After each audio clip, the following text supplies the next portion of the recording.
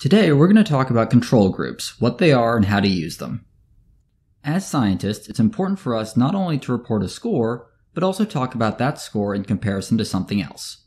For example, if someone claims that group X is high in something, the next question we should be asking is, compared to what?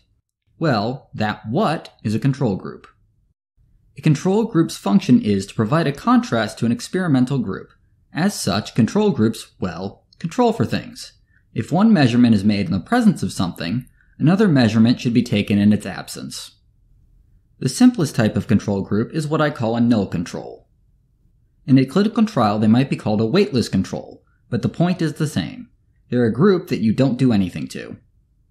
As to their function, they provide a really nice zero line from which we can compare our results. However, having a zero line isn't always sufficient.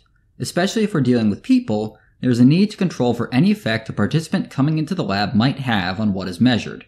In psychology, we often have people doing some rather silly things, like walking over scary bridges or moving around ping pong balls with chopsticks.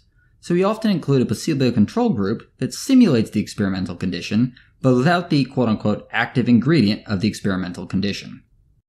Placebo controls are really useful in that their purpose is to rule out any possible effect of the experimental condition that isn't of interest to the experiment.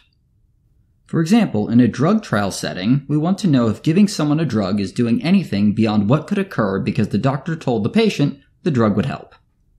In some experiments, we'll even have multiple placebo control conditions to control for specific aspects of our experimental condition.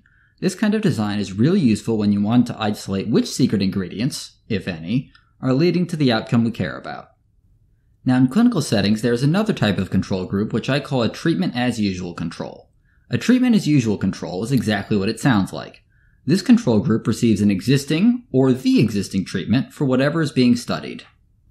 Including treatment as usual controls allows us to compare a new treatment with an existing treatment plan to see if it does just as well or better. Although sometimes found in non clinical settings, they're usually featured in more clinical minded studies. Now, not all control groups fit neatly in this classification system. For example, sometimes you'll see certain kinds of placebo control groups playing the role of a null control group. That said, this typology is an excellent starting point when designing your own studies and examining others. Thanks for watching. Please like, share, and subscribe. And if you've got a stats and methods topic you'd like me to look at in a future video, or more thoughts on this one, let me know in the comments.